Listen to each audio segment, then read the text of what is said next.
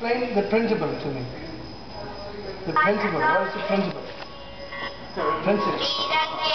What is the meaning? Yeah, fuel cell. Yeah, I understand. Yeah, I know very well. But you explain to me how is this functioning? How will it function? I don't know. You explain to me. How is it functioning?